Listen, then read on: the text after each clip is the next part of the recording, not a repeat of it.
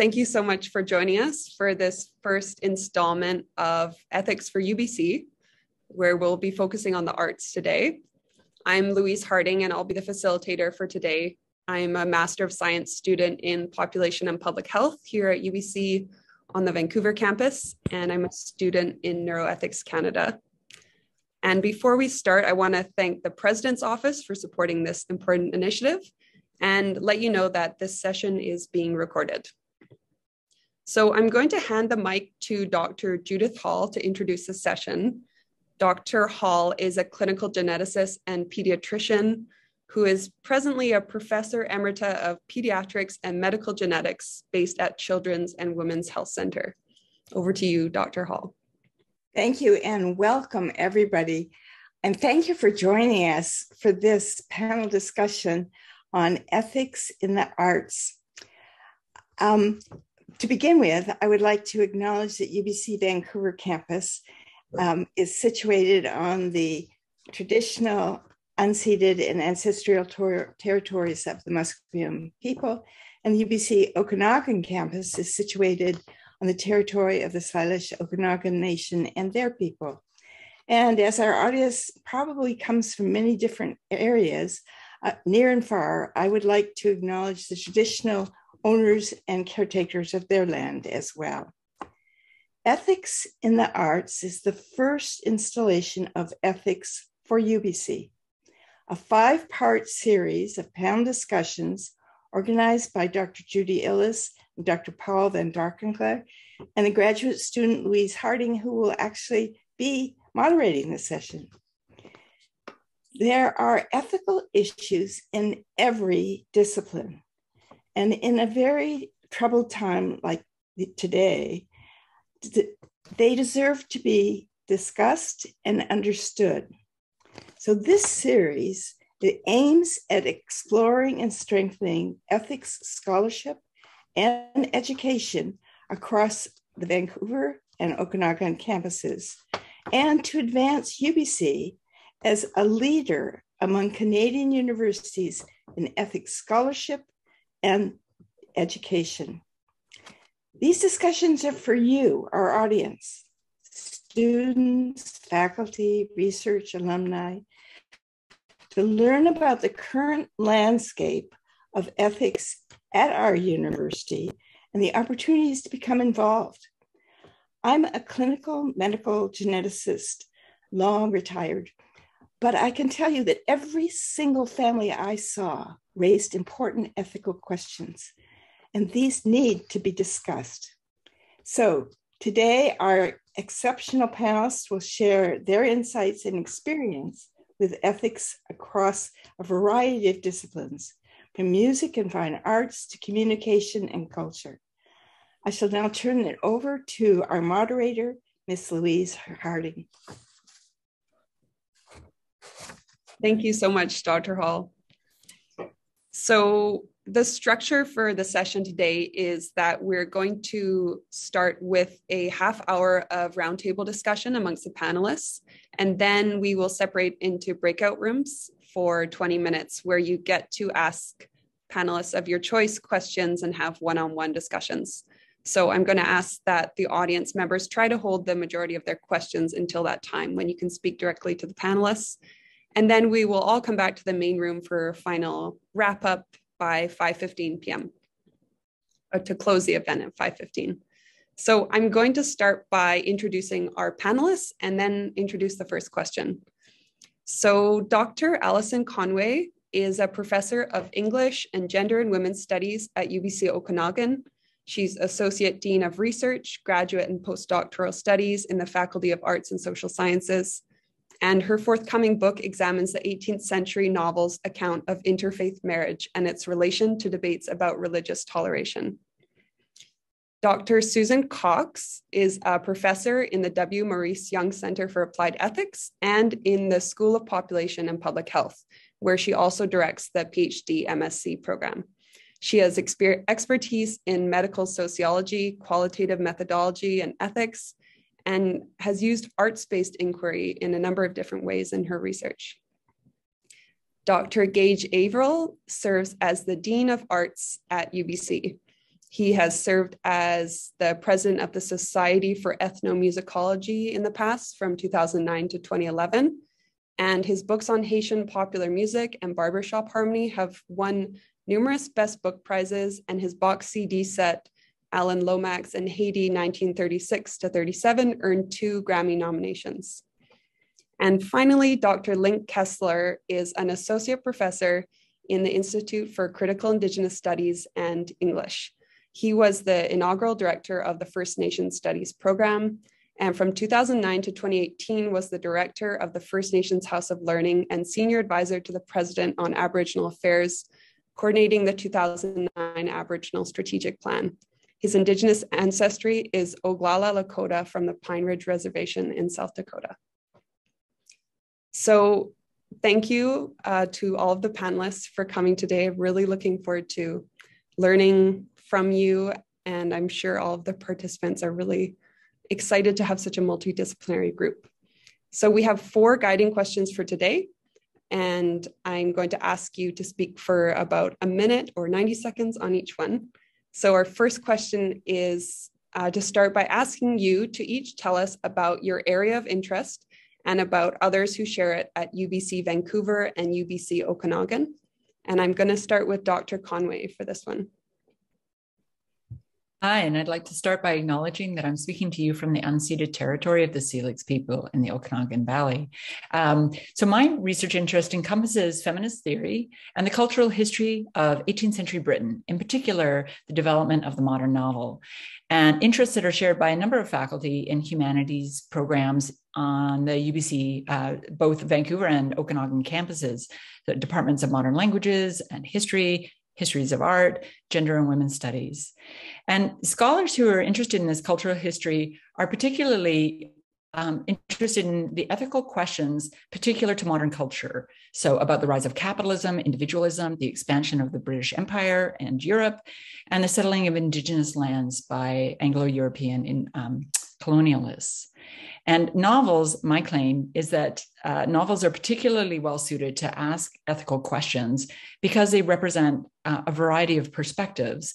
And realist fiction, which was developed in this period, is particularly significant insofar as it tries to recreate the world as we know it. And its proximity to the everyday renders it uh, ethical challenges familiar to its readers. And feminist and post colonial critics are particularly interested to trace the voices of marginalized figures that appear in novels like Robinson Crusoe, as well as to recover uh, less well known works, um, often by women or members of the of colonial um, uh, or indigenous communities, in order to provide an alternative story to the one told by mainstream history. Thanks. Thank you, Dr. Conway. Dr. Cox, uh, you're up next. Thank you. So I'm uh, an interdisciplinary qualitative health researcher, and my main field of work at the moment is in population and public health, but I'm also part of the Center for Applied Ethics. And one of my main areas of interest is in the arts and health. And I'm interested in this in a couple of ways. Um, the first being in how the arts and creative expression, you know, be it through poetry or painting or playing the piano, uh, all support well being and healthy aging and contribute to healing when we're unwell. I'm equally interested in arts based methods of doing research, and that's uh, using the arts as a form of inquiry in research and as a means of uh, translating research into a form that can have a big impact for audiences beyond the academic world. And prior to COVID, there were quite a group of us at UBC, both faculty and graduate students, who had a mutual interest in these topics around arts and health. And we came together to form a community of practice with the intention of uh, bringing researchers and artists together to collaborate in working with all types of literary, visual, and performative arts uh, so that we could share ideas and network and provide support to one another in this new area of inquiry. And there are also a number of other significant initiatives uh, in arts-based methods at UBC. And one that I'm active with is the research-based theater collaborative that is led by my colleague, George Belliveau, and funded through the VPRI Cluster Grants Program. Thank you so much, Dr. Cox. Uh, Dr. Averill. Great. Uh, th yeah, thank you so much. And the um, it's a real honor to be here today. And I uh, really excited about being with this uh, this group of panelists. I'm, I'm by training an ethnomusicologist, uh, which is a mouthful, and it's it's a disciplinary identity that I share with uh, really only three other professors at UBC, but more than a handful of graduate students here. I was primarily trained as an anthropologist of music. Um, and my the methods I, I utilize really combine historical study, ethnography, uh, close-up living, um, of natural um, music systems, the production and the consumption of music. So you could, although it's a small group of ethnomusicologists, I also share some some of the questions we'll be looking at today, these sort of ethical challenges more broadly with sociocultural anthropologists as a whole, um, especially around the ethical challenges of ethnography and fieldwork.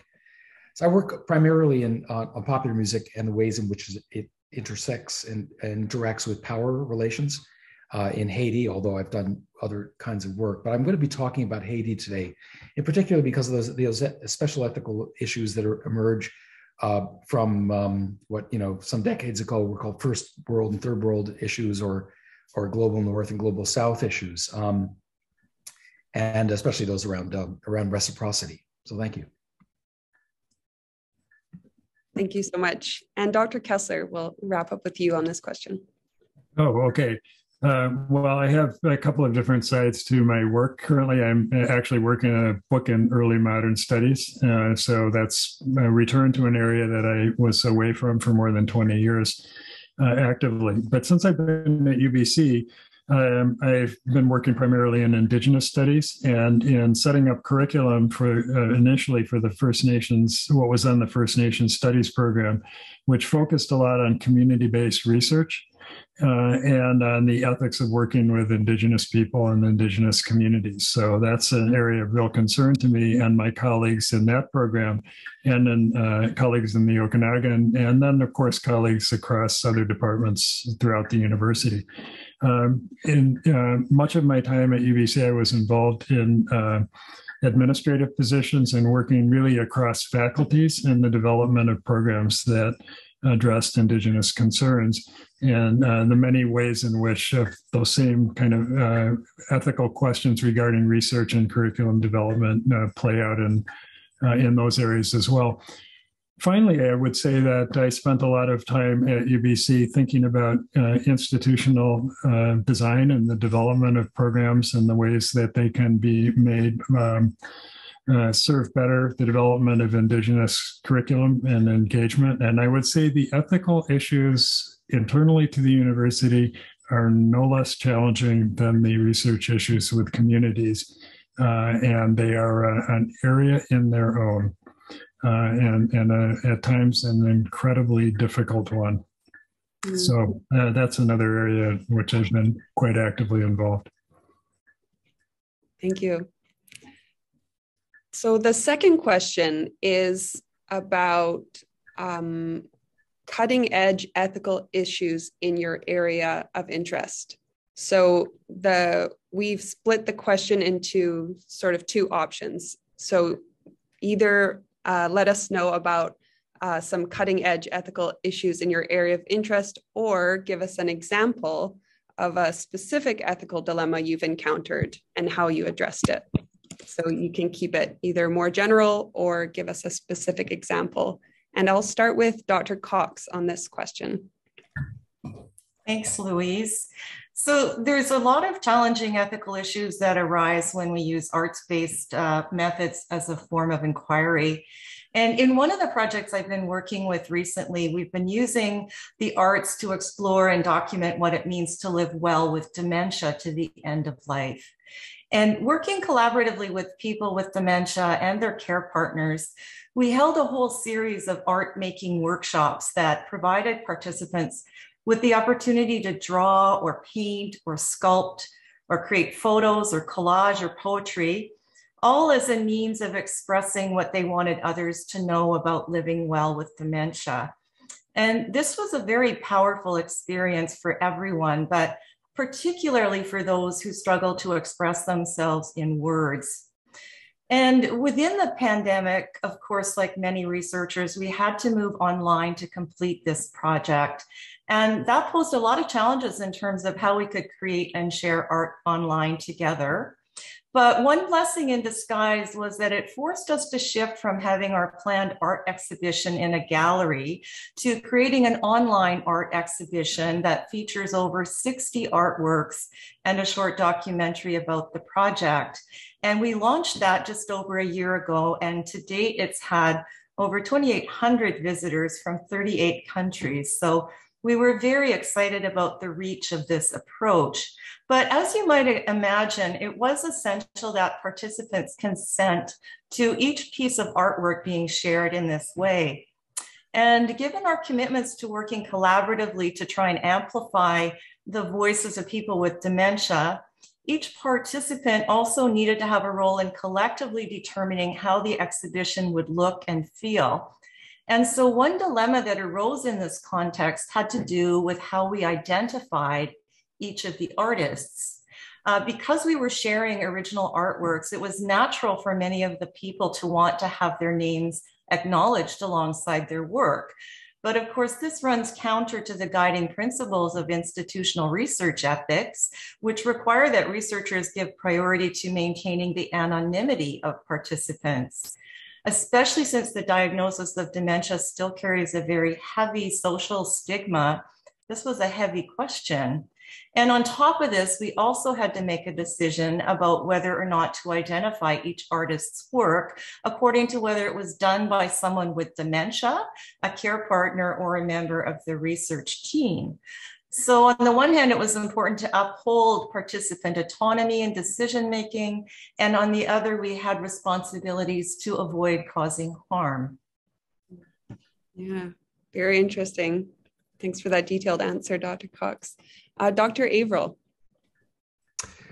Uh, you know, I loved, by the way, uh, Susan, I loved your your comment about um, uh, institutional re- research ethics because in, in my field where we were originally trained to preserve recordings forever to do work in real sites where people make music, essentially bars and clubs, things like that, um, and to and to promote the artists with whom we worked. The injunctions in research ethics to destroy recordings after six months after after publication, never uh, never do research where people are drinking, and uh, and can't give informed consent, and then uh, uh to um, um, what was the other question? The uh, uh, to promote the, the names of the artists when we were uh, told to uh, anonymize the details were were uh, it was almost as if they were trying to outlaw my discipline.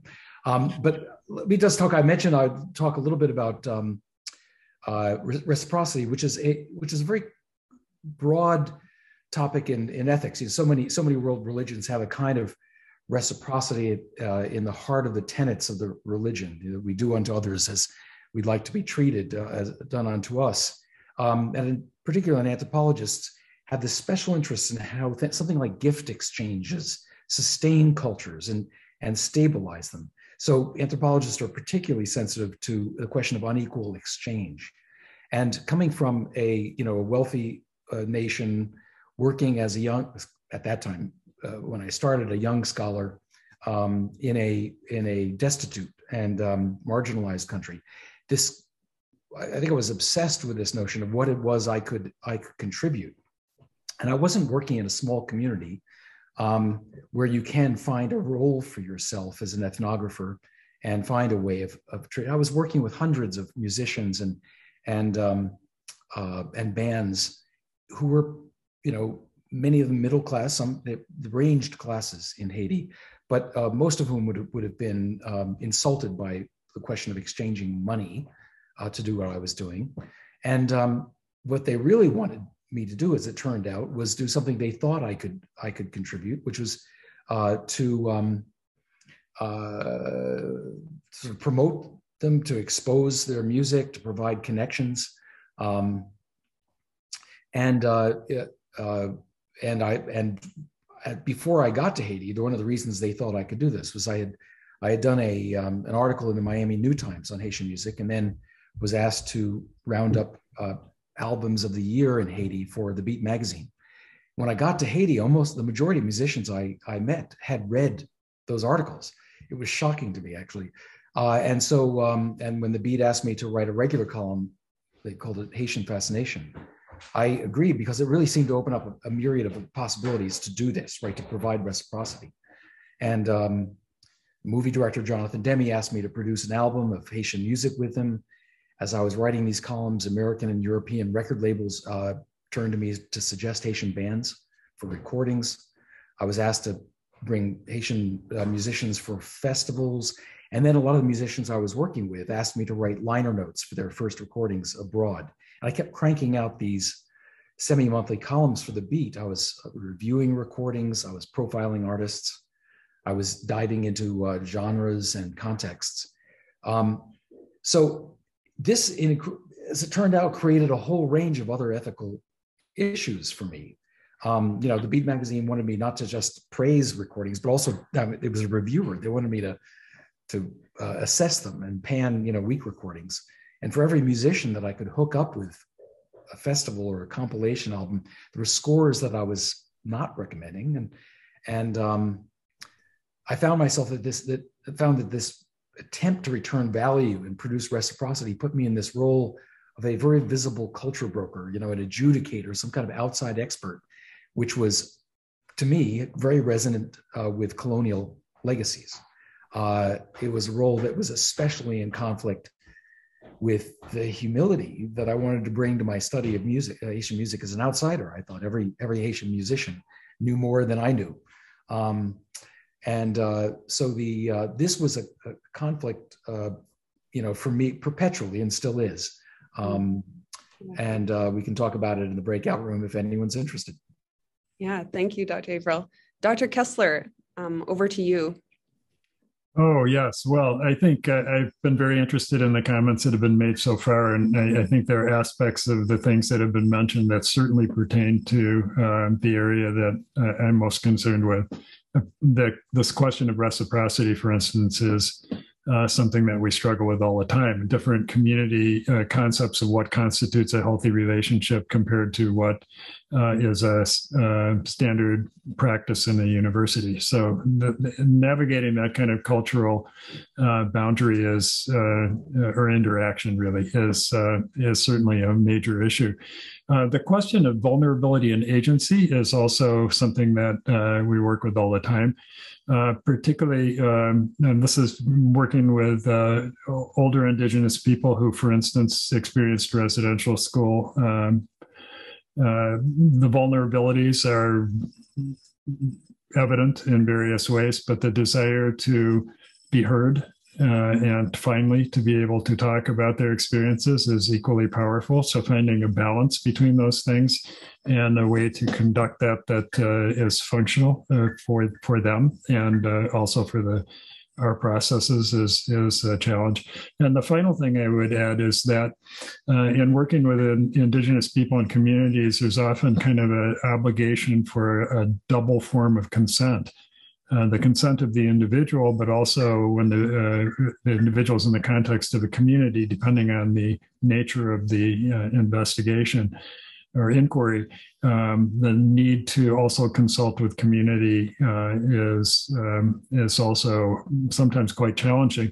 The challenge with that is often determining what do we mean in those instances by communities and um, how do we navigate circumstances in which uh, what would appear to be the logical authorizing body in a community is adversarial to the interests of some of the people uh, that we might be uh, wanting to work with or advocate for in some way.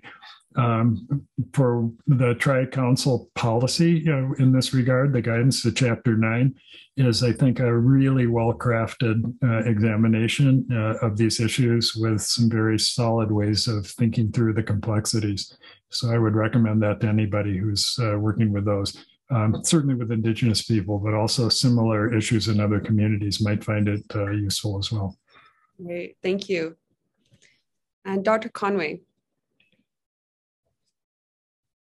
So, as a cultural historian, my concern is to look to the past to see how ethical questions that are pressing today were asked, or what are the historical antecedents of the questions that we're facing today.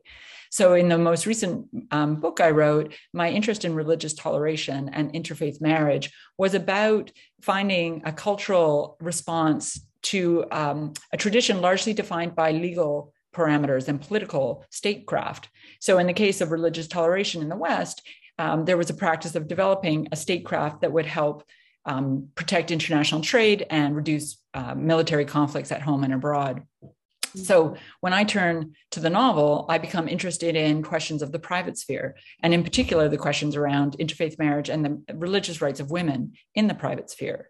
So today, when we're talking about debates about secularism and Bill 21 in Quebec, um, we'll often see how or geopolitics of the West versus the East are framed around claims regarding women's rights and their religious rights, um, around uh, the, the, idea of the West having um, an ethical uh, vantage point from which to pronounce on non-Western traditions uh, around uh, and and and uh, assigning tolerance and feminism to a secular West, um, and you really see how those questions were framed in.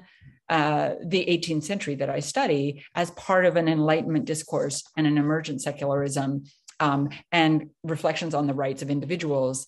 Uh, we also see how cultural narratives kind of stage these questions differently and provide different answers than do those questions asked by political theory, um, government practice, and, and intellectual history. So that's how I come at the ethical question how does the past allow us to understand the challenges we're facing today? Very interesting. So, the third question is How can we facilitate better, more ethical practices in your area of interest? And I thought we could start with Dr. Averill on this. It maybe if you wanted to jump off this tension you were describing between the the best practices uh, from the IRBs versus what seems to be truly at the best interest of the community, or or another angle you take on this question. Sure. Well, on the on the IRB piece, I think it, just points to the need to continue to negotiate those kinds of structures in relationship to different disciplines.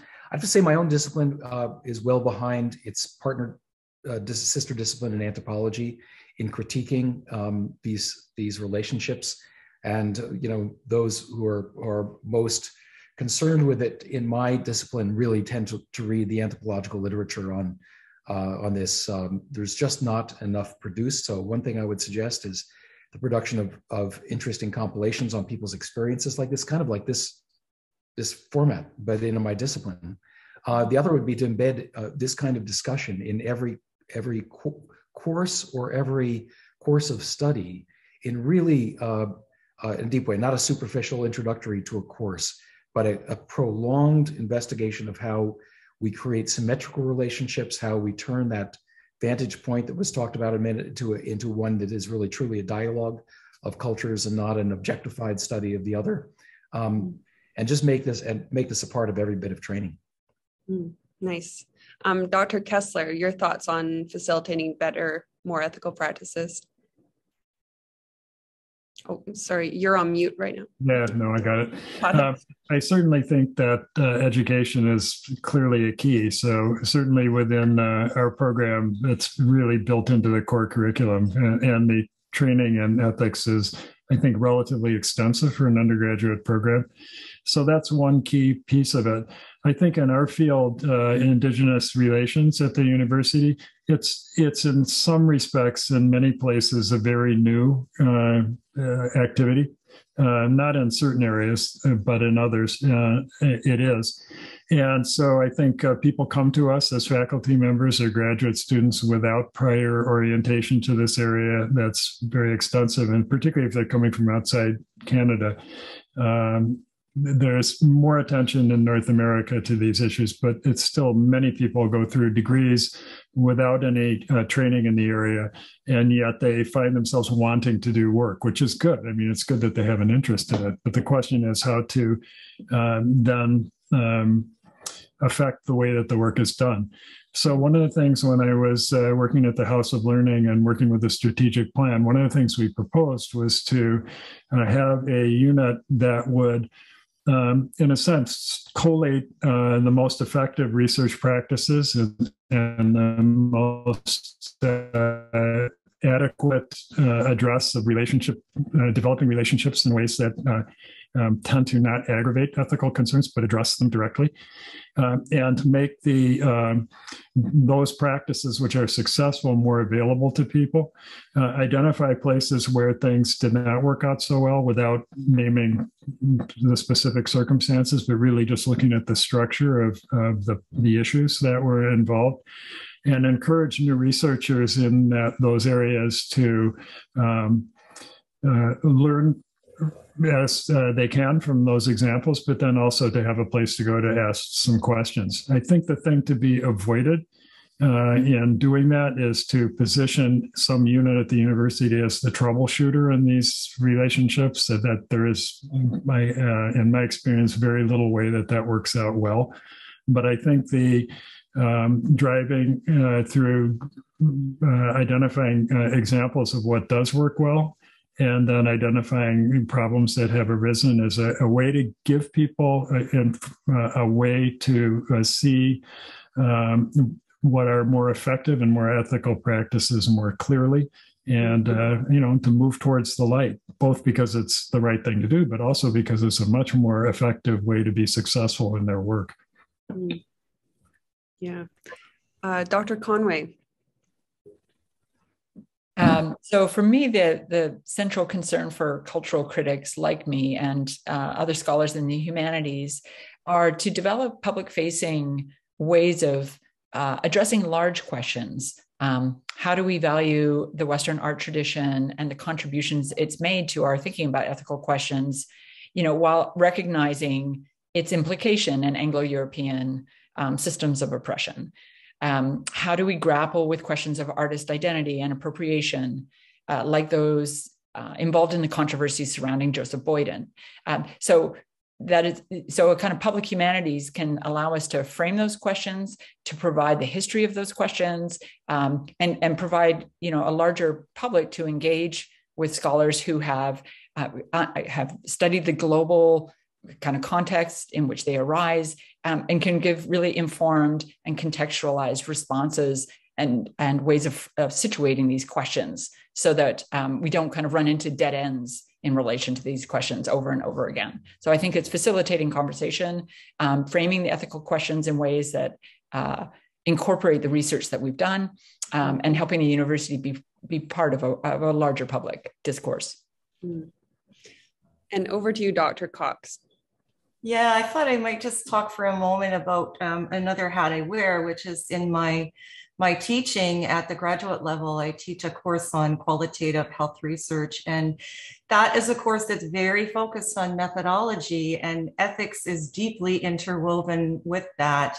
And the solution, I think, in part in in the long run has to be in training researchers to really take um, uh, first of all, take their time with these issues. There's so much in the academic world that pressures us to come quickly to a conclusion or make a decision or meet a deadline. And, and oftentimes ethical questions are not amenable to that. So I'm a big advocate of what I would call slow ethics, uh, which really derives from the slow scholarship movement. And before that, the slow food movement. And it literally means stopping and taking however much time is needed to engage in meaningful dialogue and reflection uh, so that a mutually acceptable and locally made solution can arise.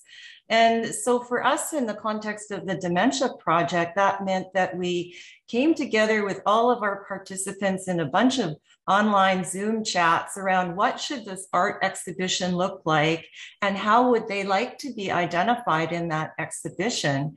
And we went back and forth and it took a lot of time, but eventually we decided everyone was comfortable with using their first name, but not their last name. And no one would be identified with tags like being a person with dementia or being a care person.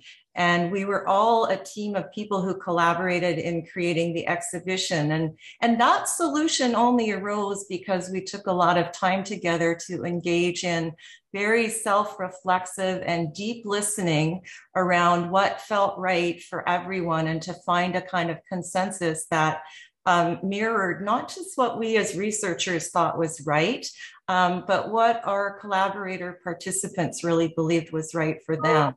And uh, that's a message I believe very strongly. Um, and I think it's really something that is essential to our training of future researchers. Beautiful. Thank you. So the final question before we go into breakout rooms is how can students and faculty at UBC get more involved in ethics scholarship and education pertaining to the arts? So with an eye to that, many of the participants here today might be looking to get more involved in ethics scholarship and education. And we um, do just have three minutes before we would like to go into the breakout rooms where we people can ask more specific questions to you. So if you could keep your answers to this one nice and short. Um, Dr. Kesler, we'll start with you. Uh, well, I, I, I, the easy answer is take some of our courses that focus on uh, on exactly these ethical questions. But of course, we, we don't want our unit overrun with the, uh, the, the incredible interest in this area, um, which I hope there actually is. Um, but I think the the way to do that is to develop more training and more disciplines that is uh, sensitive to the ethics. So for some disciplines, that is specific research ethics. In our discipline, for instance, we concentrate on uh, oral history interviewing, for instance, uh, and that has a very specific set of uh, ethical concerns. But many other um, many other uh, units across campus deal in one way or another with interactions with, in, in my case, with indigenous communities. And they may not involve specific research protocols that fall under um, uh, ethics board guidelines, but they involve the formation of relationships, which can be done in more or less ethical ways. And I think there, there are very uh, clear ways in which units can develop ways of thinking through the issues that will lead to more ethical practices in those relationships. And those will inform uh, all kinds of research that would be done in that area. But also, more critically, they will inform their uh, ability of their students and their colleagues to work effectively in those situations in ways that are helpful to communities and bring credit to the institution. Thank you. Uh, Dr. Conway. For me, the central question is um, having having worked hard to recover marginalized voices in my own research. Um, how can I? How can the university foster classrooms, um, mentorship programs, and um, hiring practices that will see greater numbers of those members of those communities uh, among our faculty? So the ethical question for me is how does the how does the research I do correspond to changing the face of the institution? Amazing, yeah, Dr. Cox. Yeah, I'm going to put in a brief plug for the Center for Applied Ethics. We have a graduate fellowship program. So, uh, graduate students at UBC, no matter what program, we welcome applications to come and spend a year at the center and work with a faculty mentor and be part of a community that is working in applied ethics and give you an opportunity to work on some ethics related aspect of your research or your program that you might not otherwise uh, get to attend to. So I just want to flag that out there for everyone who's doing graduate work at UBC if you have an interest uh, in further training in ethics. All right, and Dr. Averill to wrap us up.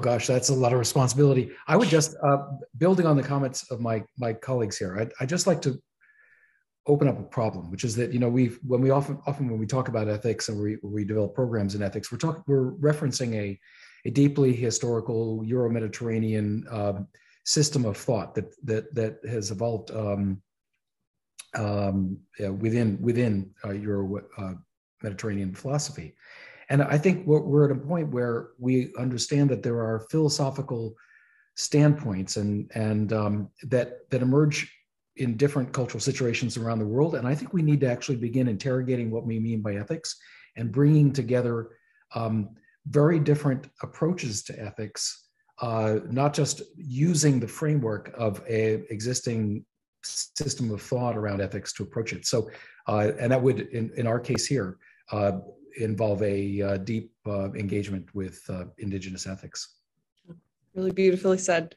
Um, so, what we're going to do right now is we are going to take a few moments to allow uh, panelists or to allow participants from the breakout rooms uh, to let us know uh, what you learned. If there's anything you'd like to share, you can either uh, use the raise hand function um, about something you'd like to bring to the group, something new you learned today, or you can write in the chat and I can help uh, vocalize that. But uh, because we couldn't all be in all the rooms, I think people would love to hear what happened in some of the other rooms.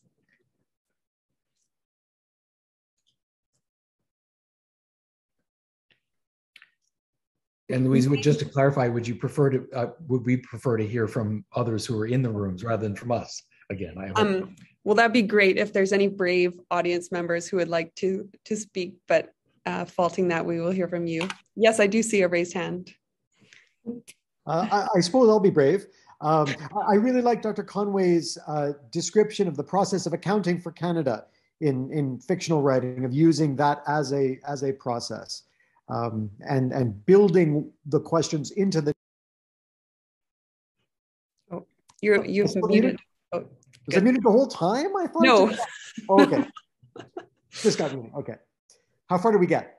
Uh, accounting for Canada and building it into the process. Those are the two main. For, yes. Thank you.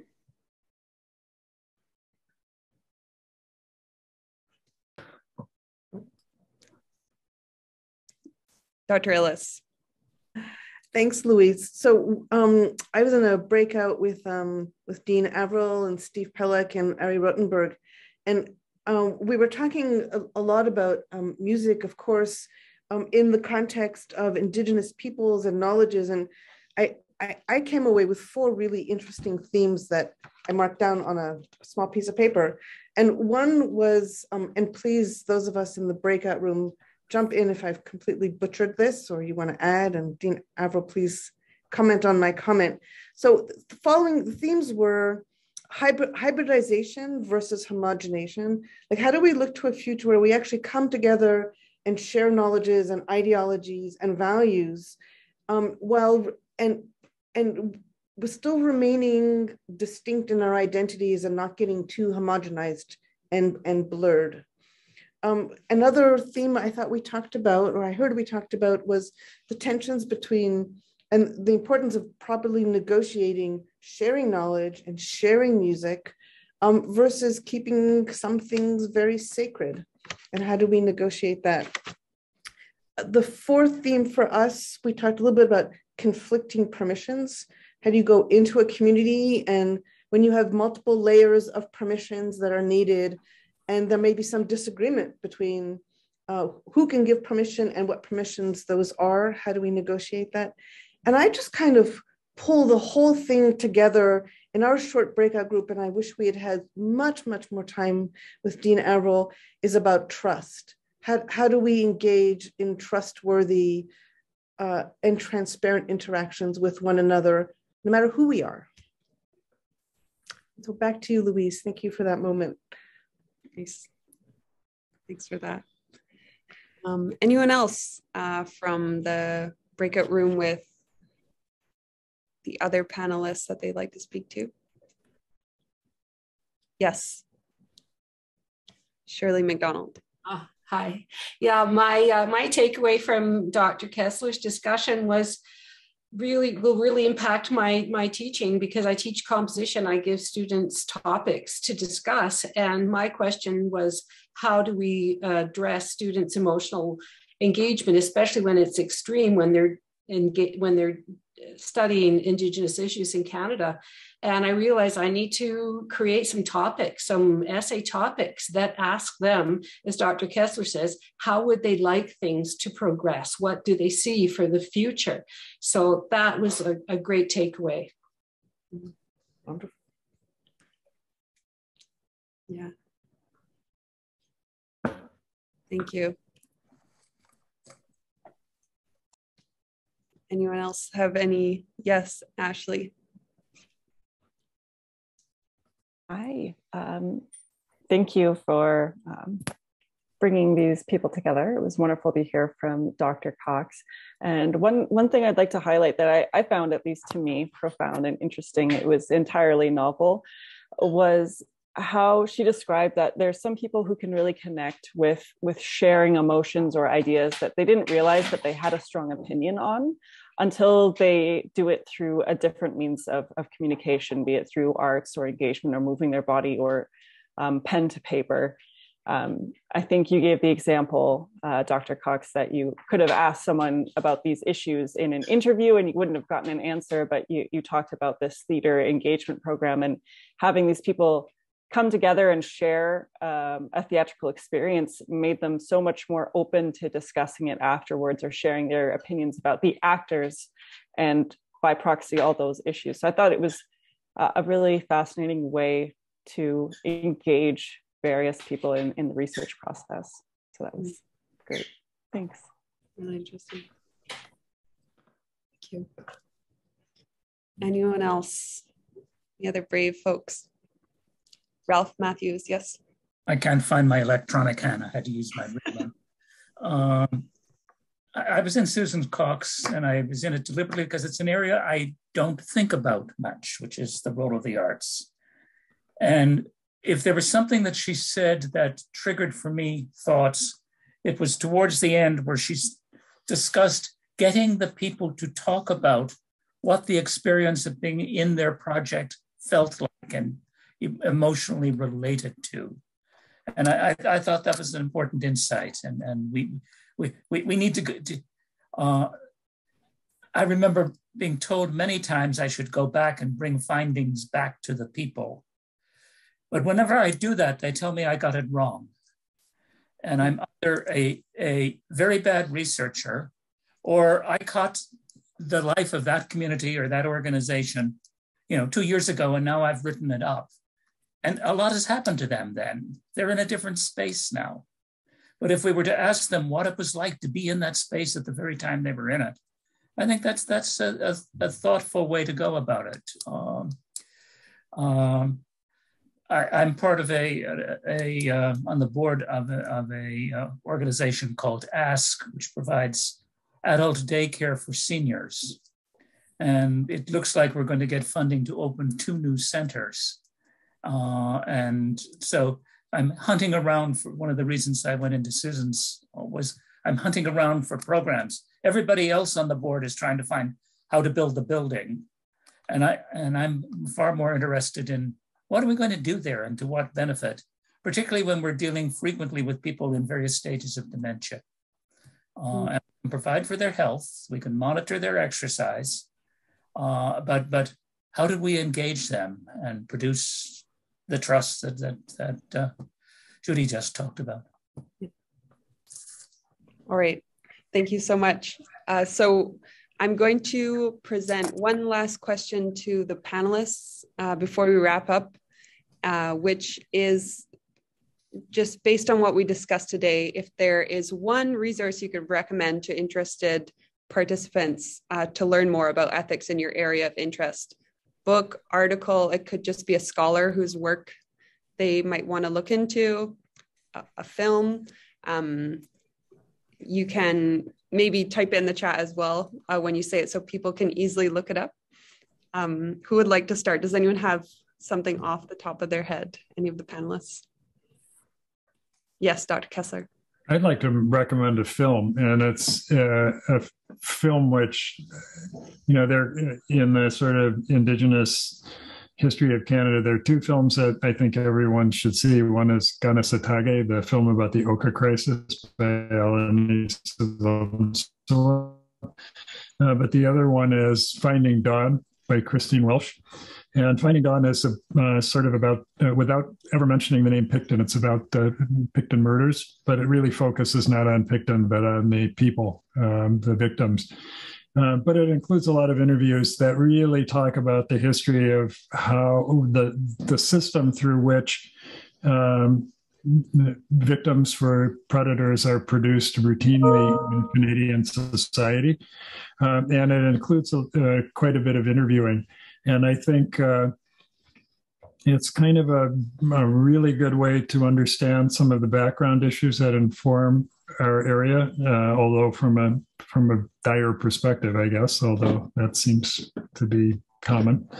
Um, but also, I think it raises a lot of and addresses a lot of very interesting ways of talking about ethics.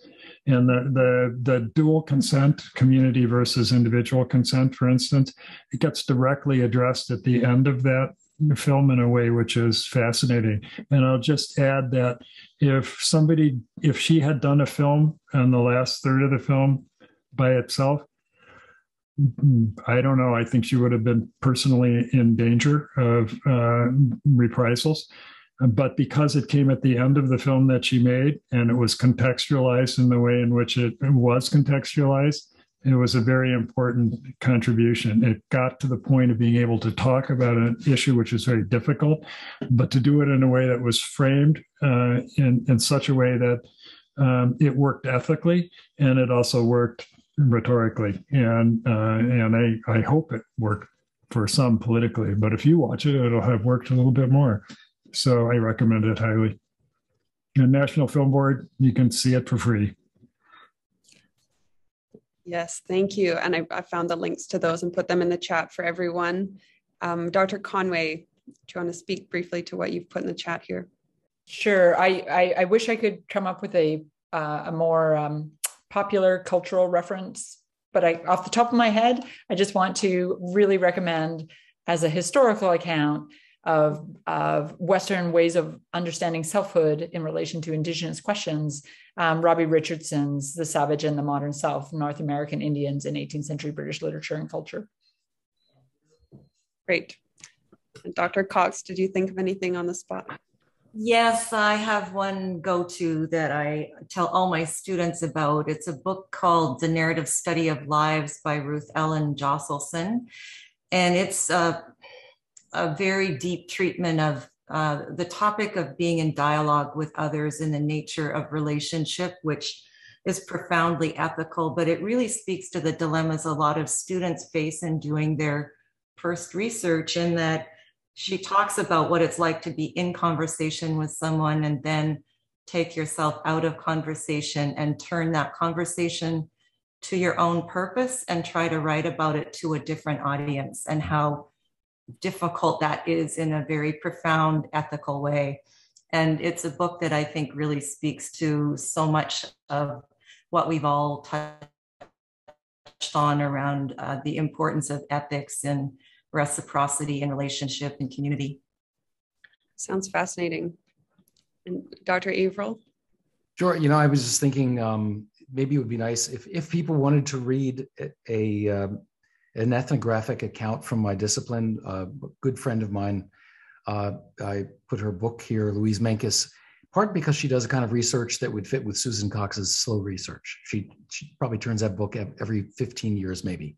Um, but they're beautifully written, poetic accounts. This last book um, uh, follows over, over about 25 years uh, relationships with Zulu dance troupes as uh, South Africa negotiates the transition from apartheid to um, uh, to post-apartheid period, negotiates her relationship uh, across as as a um, white South African.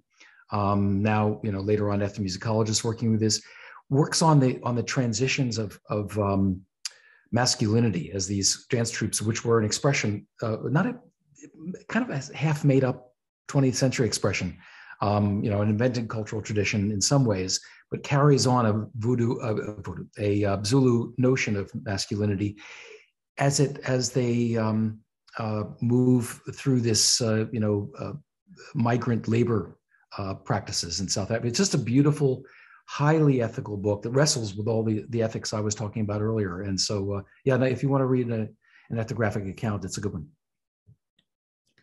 These all sound really great. Thank you so much.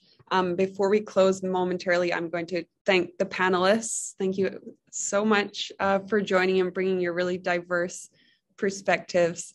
Uh, Dr. Judith Hall from uh, Senior Administration for opening. Uh, to you all for attending, the participants and engaging. and the rest of the organizing team at Neuroethics Canada, Dr. Judy Illes, Dr. Paul Van Donkelaar, Marianne Bicani, and, and Anna Nuechterlein. And our second installment in the series focuses on technology and is coming up on February 23rd. Um, and everyone, the panelists and the participants will receive a follow-up survey to further the goals of ethics for UBC and information about the next panels. So that concludes our events. Uh, and thank you everyone for joining and we really hope to see you at the next one. Thanks for organizing it. It's a great idea. thank you.